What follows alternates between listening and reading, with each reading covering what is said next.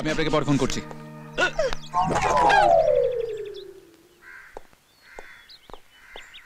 তুমি ওকে ভালোবাসো? তুমি ওকে ভালোবাসো? কবে থেকে? পাঁচ বছর। পাঁচ বছর?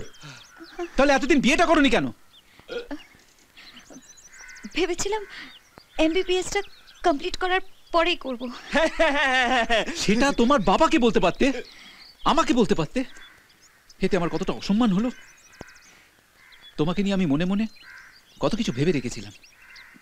তোমার জন্য আমি একশোটা শাড়ি কিনে রেখেছি জানো? হান্ড্রেড শাড়িস এক একটার দাম পাঁচ থেকে সাত হাজার টাকা করে। স্যার আপনি যদি বলেন সেই সব শাড়িগুলো মঙ্গলাহাটে বেচে দিয়ে আসব? না ঠিক ঠিক আছে।